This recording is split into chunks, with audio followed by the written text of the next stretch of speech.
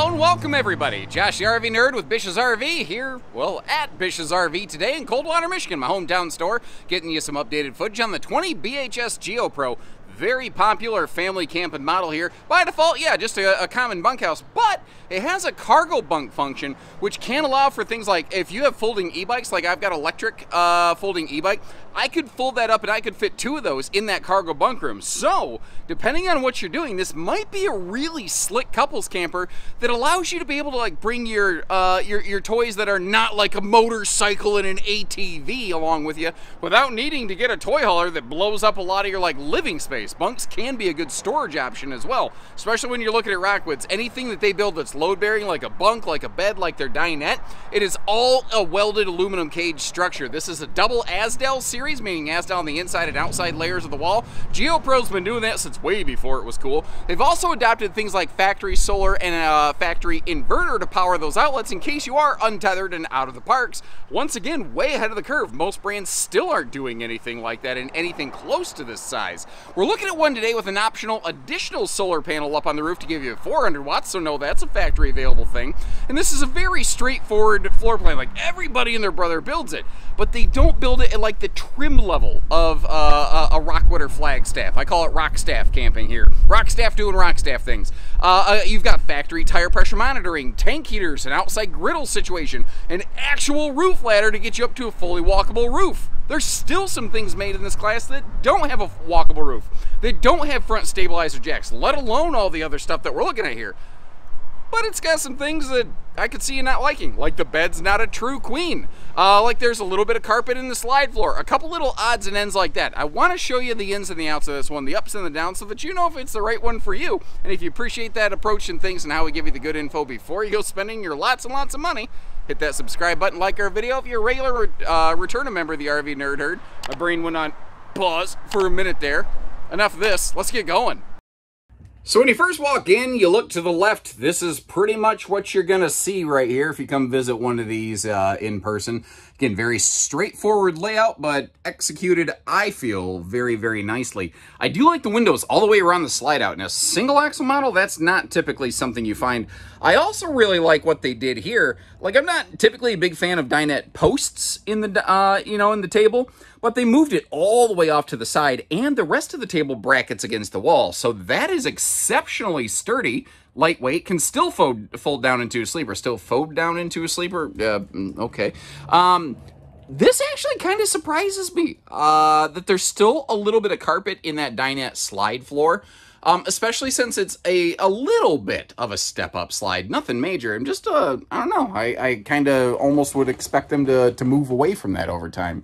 Now, their construction, this is, is very different from a lot of what you find in the industry. Like, it's six and a half foot tall to here, but you may notice it's got a really uh, aggressive vault to the ceiling. I don't use a wide-angle fisheye camera lens, by the way. Uh, the, the sidewalls are only six foot one. The whole thing vaults right up. If you're curious about how that kind of happens and how it works, I've got a link uh, in the description for you to check out the full factory construction tour one of these things, uh, in case you're curious. Now, oven used to be an option. Oven has since become standard. And notice, even in this little camper, they're still using the bigger ovens. They've got that situated right next to the barley poppinator right there. Yes, sir.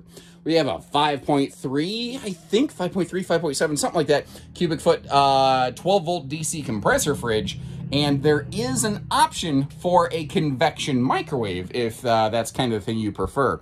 A lot of people used to add those uh, when the traditional gas ovens were not standard. Now that they are, I am really wondering how often we're going to kind of see those things.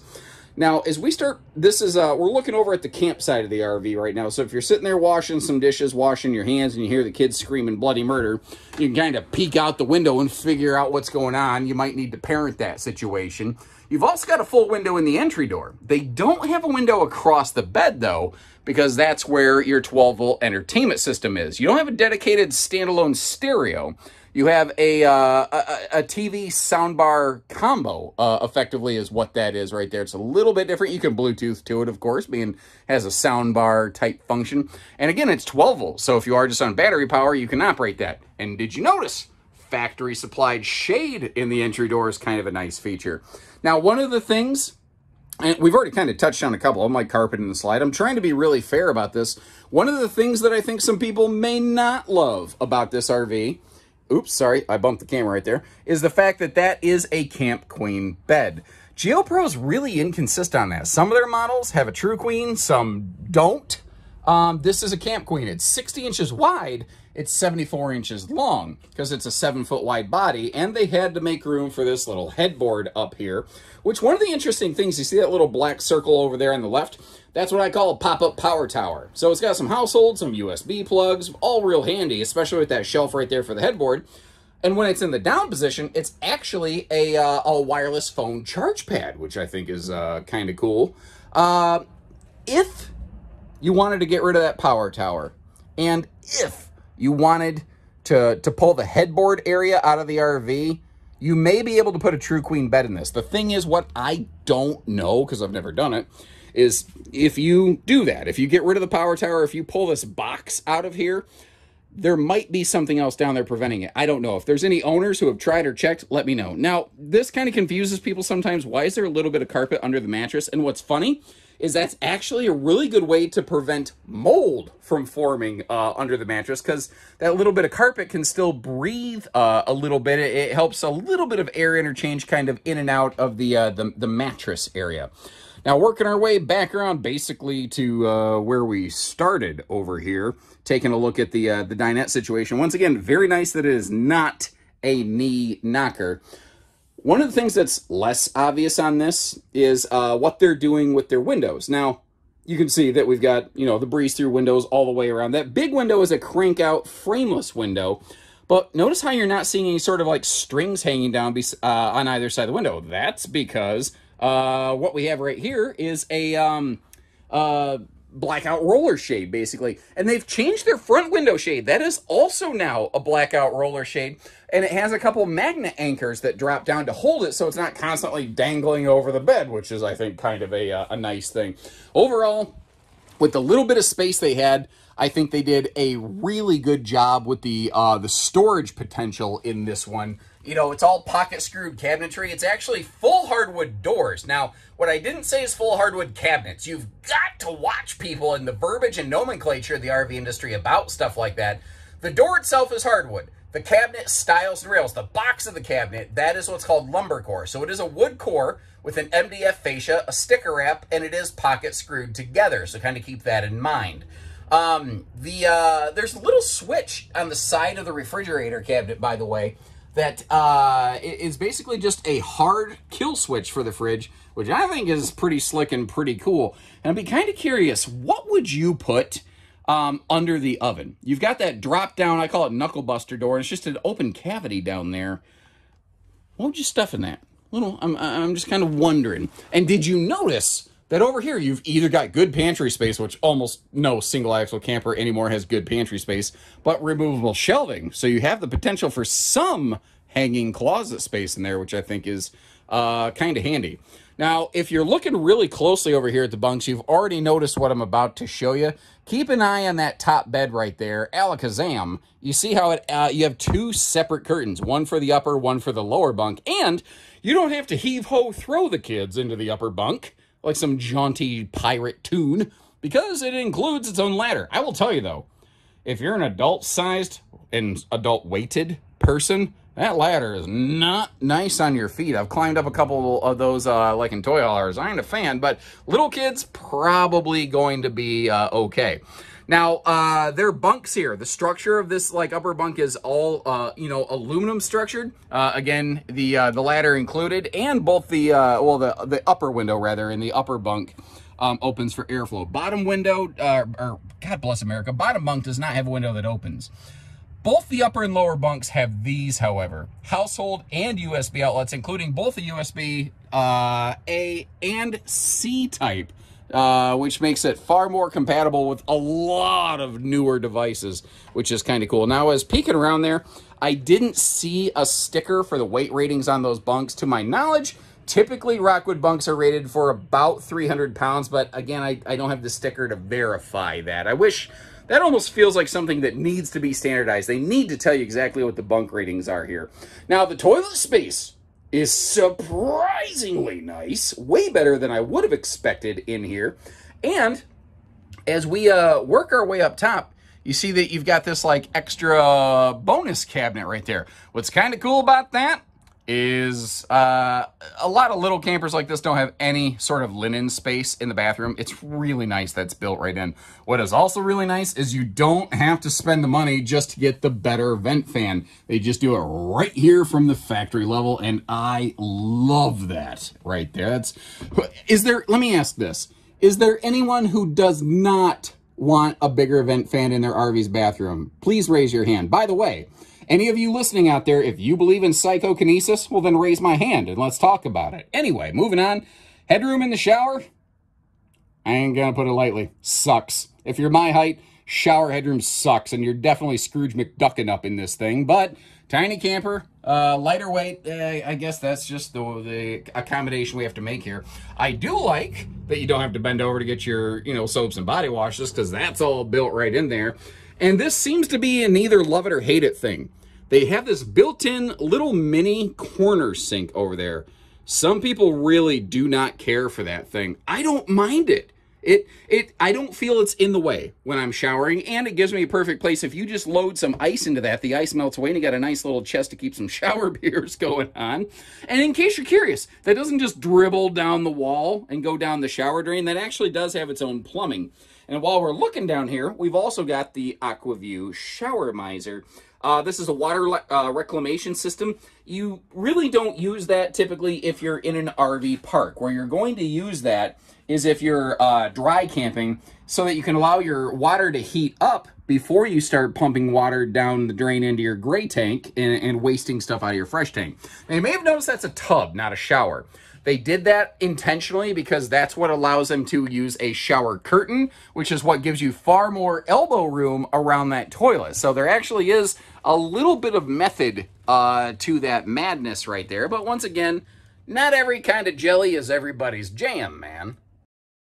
Now for travel in road mode, uh, you know, since the dinette sticks out of the slide quite a bit, some people kind of wonder about that. What's nice here, even with the slide out closed, you can very easily navigate through this thing. Like, you are doing a little bit of uh, walk on the catwalk, hey, you know, do a little turn on the catwalk, but it's not too awful tight. You don't got to do a lot of sideways travel trailer two-stepping. You can get right back to the bathroom. You can get to the bunks. Although, I kind of figured for road mode, you may have cargo loaded in that cargo bunk area. So I thought it might be better to kind of simulate that with the bunk actually flipped up. And in case you're wondering why this mattress is sitting here all kinds of kitty wampus, that's so I could do this. Bah, bah, bah, but it's so stupid. But actually, more to the point, it's to show you that one of the best places to stow that ladder when you're going down the road is just under the mattress. Because when this thing's roller quaking, jiggle banging, it just don't matter. It ain't going to go anywhere. And, uh, you know, if you appreciate both the road mode access as well as the, uh, like, Muppet Mouth Theater information there, make sure you hit that subscribe button. Let us know that we're doing a good job, or call me an idiot. I don't know, whatever's fair. Now, getting one of these little guys down the road is pretty darn easy because it is, uh, you know, uh, what about 4,500 pounds total maximum weight and only a little bit over 21 foot tip to tail length. And what that means, if you've got a decent tow package SUV, if you've got a tow package like midsize pickup, this thing's gonna probably work pretty darn nicely for you. Um, obviously, you always want to double check each uh, vehicle's capacities against the RV in question. Always, always to make sure you know you're, you're putting safety first. Now, you might hear a little bit, bit of background noise. We're right next to the road today, so uh, you know you might hear a guy with CJ5 and four-wheel drive and Smokey on his tail, but um, you might you know you might hear somebody Jake braking. You might hear a collision.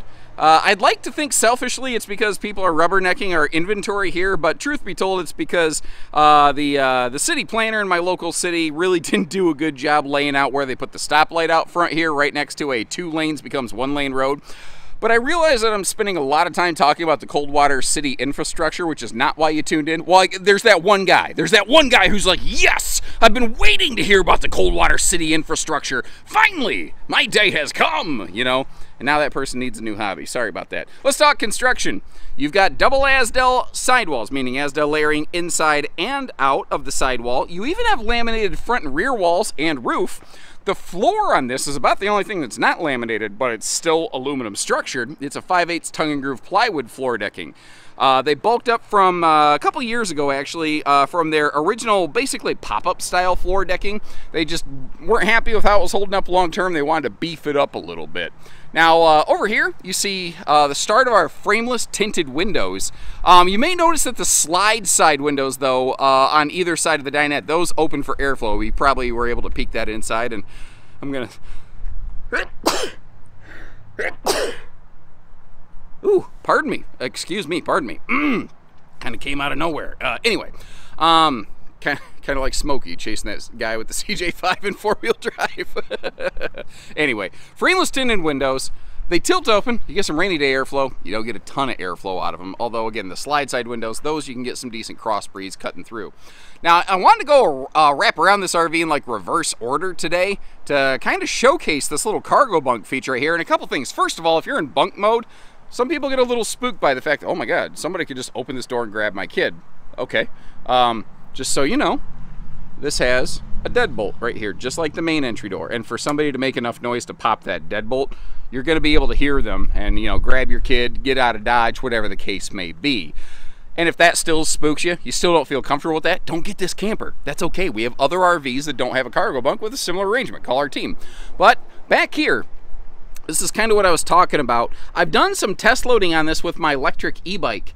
And uh, I, I found, you know, depending on how you fold it up, if you're careful and how you kind of wedge it in here, you could get uh, two, two bikes in here. Ooh, hold on. This is a question I keep asking, and manufacturers keep apparently not doing it.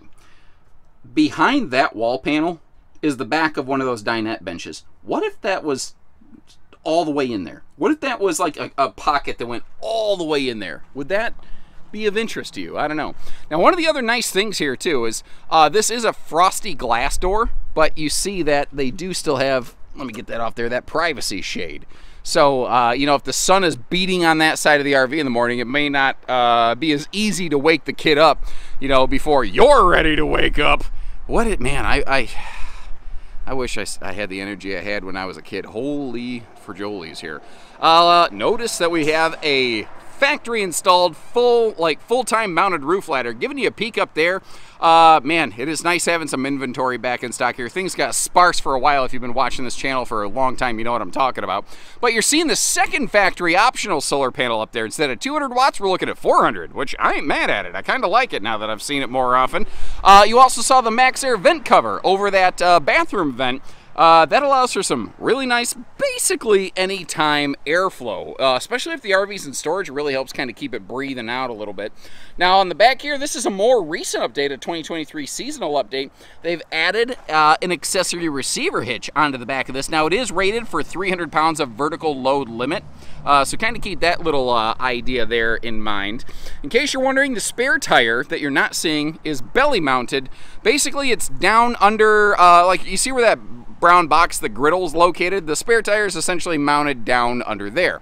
Now, not a big camper, but they did a good job of maximizing the awning space on it, which I appreciate. And it doesn't have an outside camp kitchen, but nothing says you can't bring a cooler outside, and it does uh, include a factory griddle, which is a nice handy situation. Of course, you got your propane cooker hooker quick connect right down below that, and factory tire pressure monitoring. I think that is an awesome, awesome feature that they put on these, especially on a single axle. You know, a lot of folks prefer tandem axles for the uh, the peace of mind. Like, what if I have a tire failure? Well, that's a real thing. I can I can understand that. I'm not even criticizing. But if you have uh, factory TPMS and you're doing a better job of keeping an eye on your your tire's health and status, it's gonna really really reduce a lot of that risk and give you some more peace of mind. Now, if you're wondering, where your sewer hose goes because there's no bumper. They thought of that. Um, they also have standard holding tank heaters going on all the holding tanks underneath one of these. And this is a nice find. A full big pass-through storage compartment right up front here. Uh, full-size baggage doors on both sides, and you see that little portable solar prep plug. So right now we're looking at 400 watts of solar on the roof, 200 watts standard. You can always get yourself like a portable panel, say slap, you know, anywhere from 100 watts to a, uh, another 200 watts down here on the ground, be able to park in the shade, chase the sun, really extend your uh, camp time, and you can use both the roof and ground solar solutions basically simultaneously to really maximize your total solar input. Now take a moment if you haven't already, drop me a couple notes, let me know what you think. I will also leave you a link in the video description where you can check for pricing and availability on these. One link to rule them all, Lord of the Rings style. It'll show you both the Rockwood and Flagstaff versions of this that we have in stock. And if you're wondering, they're literally the exact same thing with two names. I've actually got a video on that if you're curious. I've also got a video on the construction of these if you want to know the ins and the outs of them. And if I forget to leave you a link to that, well, leave me a comment, let me know, and I'll get that fixed up. Until next time, thanks for tuning in once again. Take care, stay safe, have fun, and happy camping, everyone.